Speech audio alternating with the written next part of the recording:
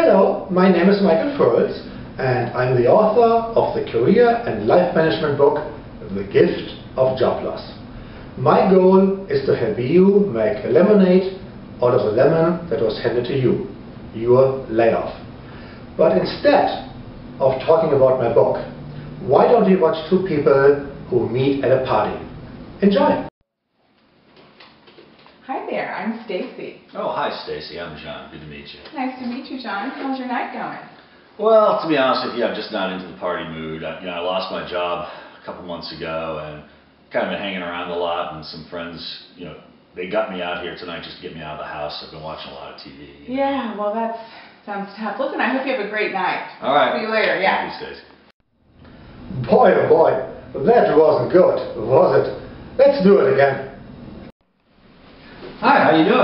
I'm good. How are you? I'm doing fine. What's your name? I'm Stacy. Hi Stacy. I'm Jones. Pleasure to meet you. Nice to meet you. What brings you here this evening? Well, I barely got back in time for this great party, Stacy. I was actually in Egypt where I visited the Sphinx, the pyramids, and, and even went to the beach at Sharm el Sheikh. I had a great time.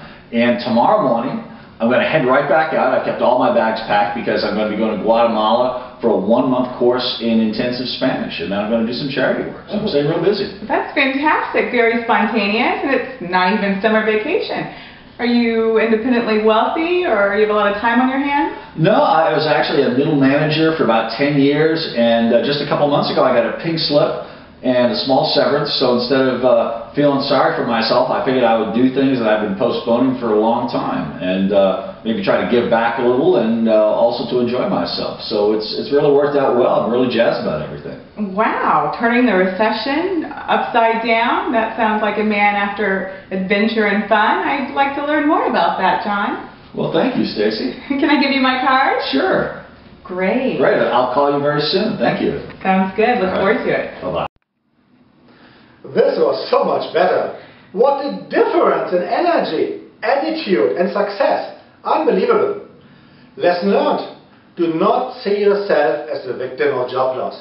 Instead, use your time strategically for activities that will make you happier, healthier and make you an even better job candidate. Intrigued? Want to learn more?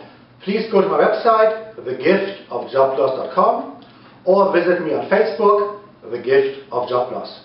Thanks for watching and have a good day.